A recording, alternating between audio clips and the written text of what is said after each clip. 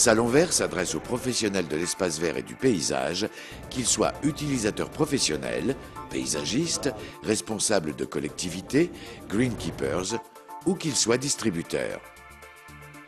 Il réunit sur plus de 20 hectares les représentants nationaux de l'espace vert et du paysage, qu'ils soient fournisseurs ou organismes officiels. Citons notamment l'Association française des directeurs de jardins et espaces verts publics, la CNATP, le GNIS, Plantes et Cités, la SFA, la SFG, l'UPJ et le Comité des villes et villages fleuris.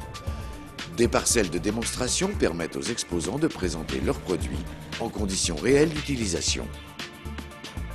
Les visiteurs peuvent ainsi se rendre compte de la performance des produits.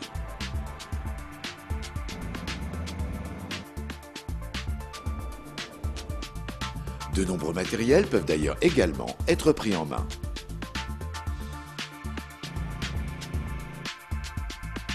Une allée unique de circulation permet aux exposants d'être vus par 100% des visiteurs et aux visiteurs de ne rien manquer du salon.